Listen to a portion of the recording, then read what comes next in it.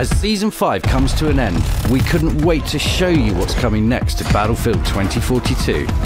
So let's start with a first look at Season 6, featuring a new map, a chillingly unique battleground harbouring dark secrets. Season 6 will arrive in October, and you can expect more new content and features that we'll reveal nearer the time.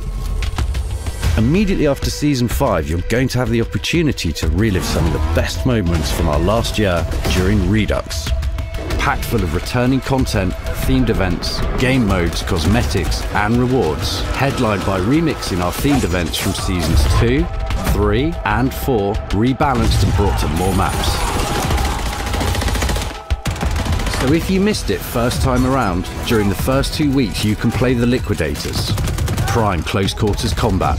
Then you'll get to play the Battle of Nordvik, securing the objective at all costs. Finally, Leviathan Rising, sabotage the enemy's operation and force their retreat. We can't wait to see you experience these returning events with a refined mode every week on more maps with new player counts and more. There will be a progression track throughout with rewards ranging from entirely new content, including character, vehicle, and weapon skins, to previous store content that now becomes earnable. And this time around, you'll be able to earn ribbons playing any official game mode.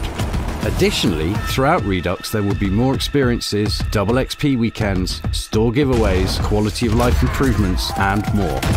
Relive and experience some of the highlights from our first few seasons once again during Redux, with all the new content and improvements we've brought to the game, all on the road to Season 6.